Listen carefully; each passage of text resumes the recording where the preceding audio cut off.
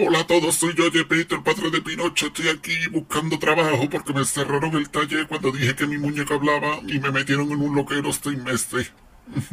me preguntaron que si me ennifaba algo o mezclaba las pastillas y le dije que no, que ennifarse se ennifaban todos los que veían Pokémon por todas partes. Bueno, y los políticos también parece que van ennifados y fumados, que los de Podemos parece que van morados en vez de morados. Y Mariano Rajoy también que sigue sin ver corruptos en su partido y cree que no va a llegar a terceras elecciones. Ay, qué fe, Mariano.